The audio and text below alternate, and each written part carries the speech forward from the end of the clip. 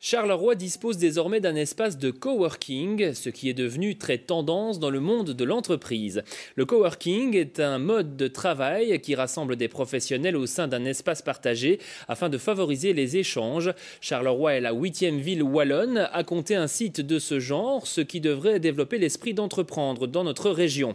L'espace de coworking appelé Switch s'est installé à la caserne Trésigny, aux côtés du centre d'entreprise Héraclès, qui est à l'origine du projet Carolo.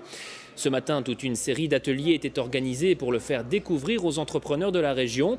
Un couloir du rez-de-chaussée et plusieurs locaux confortables ont été aménagés. Ils accueilleront des réunions et des formations, mais il existe aussi un espace de travail silencieux équipé d'une vingtaine de postes de travail individuels ainsi qu'une salle de détente.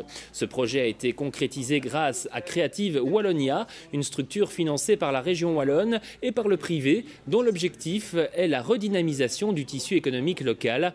Si le terme vous semble obscur, sachez que le phénomène du coworking est en pleine expansion puisqu'on dénombre près de 1800 espaces de ce genre dans le monde.